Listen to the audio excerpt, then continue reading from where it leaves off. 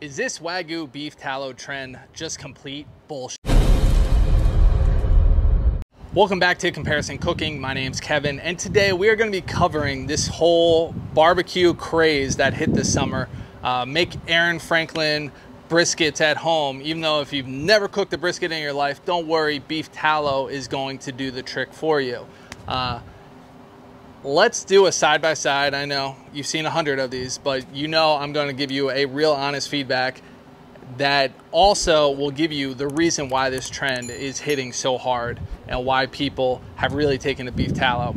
I will say right off the bat, should you be making beef tallow? Absolutely. It is phenomenal for making steaks at home in your kitchen. You can use the beef tallow, the render down fat, and make uh, steaks right in your kitchen without that butter burning, without the oil burning and smoking up your entire kitchen. Should you use it on your brisket? Yeah, sometimes you should. All right. But I've done tallow before and it does make a really good brisket. But let's do a side by side to see what we really pick up. Or is it just our brain saying, wow, this is beef tallow? This is the one single brisket right in front of me. I'm not comparing it to anything else. All right. Are, are our brains just tricking ourselves? Perfect example of this is I'm here in Maryland. And in Maryland, you can buy crabs, Maryland blue crabs, or you can go out and catch them. And every time you go out and catch them, for some reason, because you've taken those extra steps, the ones you caught taste better than the ones you bought. So as you take more steps, I'm very interested to see is that the reason we are telling our brains this is better than a regular brisket done the traditional way without this beef tallow craze. Let's get right to it.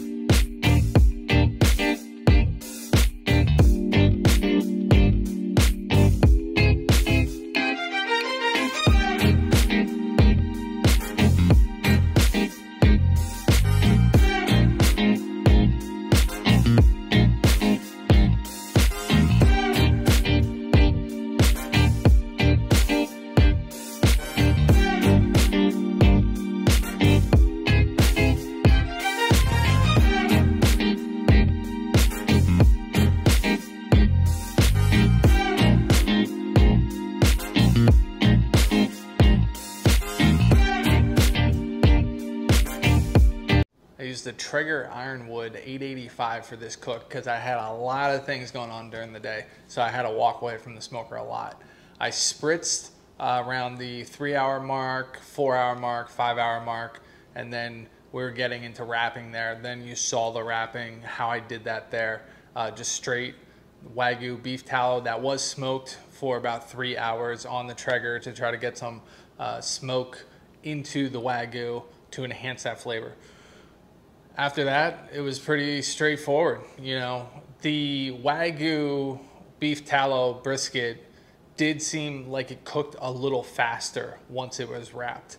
So I don't know if that encasing of just complete liquid helped speed along the process.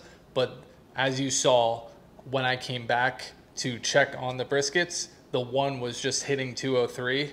Uh, that was the Worcestershire and apple juice, apple cider vinegar mixture, that was hitting 203, whereas the Wagyu had actually overcooked, and that was user error. You know, I'm not perfect. Sometimes these things don't go as planned, but it's super tender and a little, I'd probably say about four or five degrees overcooked. Uh, so hopefully that's not too big of a caveat of the difference, but we are going to be tasting to see if that real buttery, you know, amazingness really pops through. So let's get to it. All right, brisket number one. This was kind of my own last minute thrown together. Got to put some type of liquid in the wrap. Uh, looks good. Let's give it a try. Mm. I've been practicing my delicious face. So let me try that again. Oh, oh so good. Oh, so good. All right, I'm just gonna focus on taste. Very tender, very solid brisket. Um, I wouldn't say it's one of my best. It's got a nice bite, but super tender. Great flavor. Let's go to number two. All right, here we go, round two. Um, yeah, this does just look to be just a little overcooked. Yeah, that just happened. Um, yeah, a little overcooked. That's okay. We're going for the coating and texture of the brisket to see if that made an amazing difference. It's almost like the Wagyu tallow, you know, right where you see that smoke ring, that artificial smoke ring uh, that, that Traeger produced, kind of encapsulated that piece to where it's falling off in the middle. I don't know. Let's see.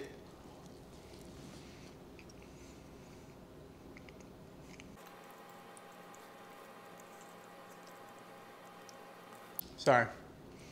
I didn't inject it. I didn't do anything like that. I just want to see what the magic of beef tallow could do. It's good. It's good. I'm not like doing backflips. Um, it tasted like buttery. Uh, so that's a good example, like a very silky smooth uh, taste profile to it. But now I'm not picking up any of the rub, that Texas Bold, that's really, really good. Check it out. Um, I'm not picking up any of those tones. It just tastes like a buttery brisket. Oh, should I do another one of my like delicious? Mm. Ah, ah, you gotta try this. It's amazing. You just gotta go out and get one of these. Yeah, click on my Amazon link to buy that Wagyu beef tallow. It's going to change your world. No, guys. Let me break it down to what's happening here and why Wagyu is great, but also just taking extra steps in your brisket process is also really good. All right, so let me start off with a couple things. Was this my best briskets? No, they're actually out of the briskets I made recently. They're probably pretty subpar to what I've normally made. Uh, don't know what happened. It just briskets didn't turn out as well. I would score the wagyu brisket. It's still super tender, but I'll probably chop it up. Uh, the flat portion of it. I just had a piece both the points on uh, both the different briskets, and the points were you know, I'd score them like a six, six and a half. Uh, the flats on the non-Wagyu brisket, I would give, you know, like a 5.5. This is a scale of 10 people. And then my point on my Wag, God, God, burps, a little dried out. I think that's what it did. Um, the point on the Wagyu beef tallow brisket, I, I'd score like a five. There just wasn't any flavor to it. Both points were super soft really delicious uh, from that regards, like a tenderness. But as far as taste, I was picking up the rubs and all the you know other sprays that were happening on the first brisket versus the wagyu brisket, wagyu beef tallow brisket. It just tasted like there was a coat of butter on the outside of it. So I wasn't in love with that why would I go through all those steps to just get buttery texture? Um, So there's no seasoning, nothing like that. Didn't pop. So will I use Wagyu again? Yes, I will. I will use it, um, hopefully on my better brisket cook where it makes sense. But I'll probably mix it in uh, and maybe save it for the end, like mixing it in with barbecue sauce and then some Wagyu. And then before you serve, you dip it in that mixture and you serve it. That's a neat trick that I'm gonna be doing on an upcoming video to show you. Here's why I think this, ugh, this trend took off this summer. Number one, uh, they put in the title that it was Aaron Franklin's secret. And I mean, yes, who, who doesn't want to know what Aaron Franklin's secret is? His secret is he probably has put in more time than anybody else on figuring out how to make brisket and make it really well. And he's got it down to a science. Do I think he uses Wagyu beef tallow? I don't know. I don't know if that's a secret. From what I've seen for people that have worked from him, they've never mentioned Wagyu beef tallow. At least I've never seen that in any of the videos I've watched for people that have worked at Aaron Franklin's. So I kind of find it hard to believe. Maybe I'm wrong, and that's okay. Share in the comments. I'm wrong. That's fine. But I think Aaron Franklin has just put in the work. He's put in more briskets than probably everybody I know combined times a thousand, ten thousand, a million.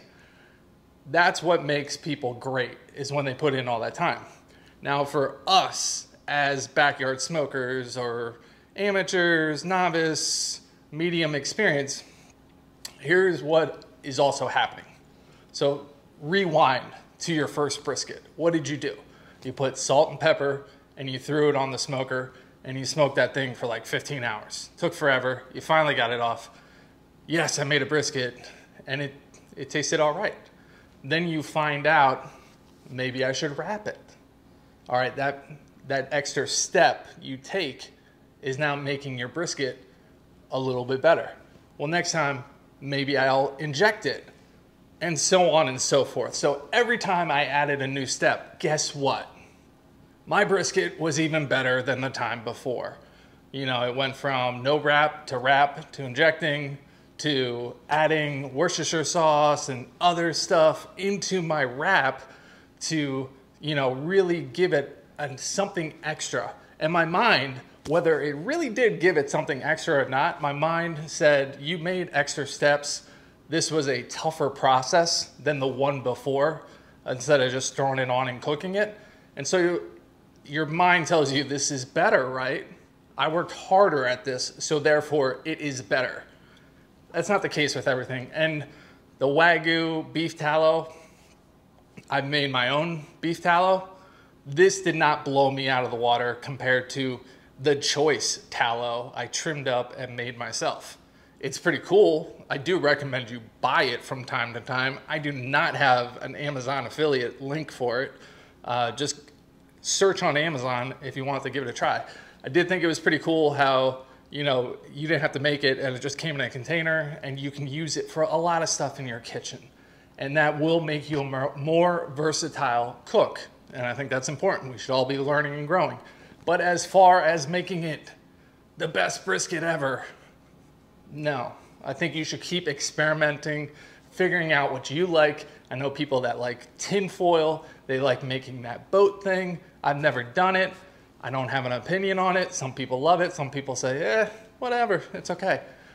Keep experimenting and the way to find out the secret to, Brank, uh, to Franklin's, to Aaron Franklin's, is to smoke as many briskets as that guy has. And then I'm sure you'll come down with the perfect method to make amazing brisket.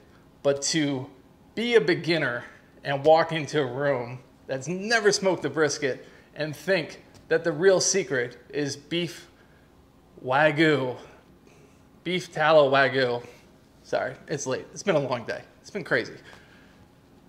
It's, it's not the secret. It's not going to take your number two brisket on a scale of zero to 10 and turn it into a nine just by throwing some Wagyu all over it. All right.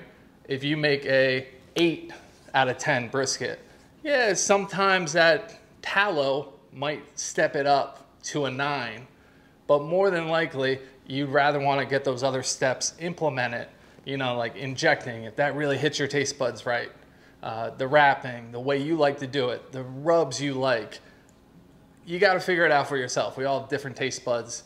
But as far as this goes, I'm really glad that Mad Scientist Barbecue did this video because I do think he made a lot of people realize I do need to add more steps to make better brisket. And that's very important because it is not just as simple as just throwing it on and pulling it off later and being like, here it goes. I guess that's all I want to cover about it. Uh, you know the drill. Comment. If you got mean comments, leave them somewhere else. Uh, hit up that thumbs up button and make sure to subscribe. We got some cool stuff coming around the corner and I don't want you to miss it. You guys have been great and I'll see you real soon. In hindsight, the premise of this experiment of beef Wagyu tallow saving the day, I'm actually glad that it wasn't a perfect brisket, that I didn't hit a eight or a nine, that it came in at a you know subpar brisket level, and that Wagyu tallow wasn't going to be the final determining factor to miraculously save the day. There's still a lot of things you need to get right on your brisket cook for that beef tallow to enhance it. So it really worked out cooking a poor brisket this time around to proving the point that it is not the end all be all that is going to save the day.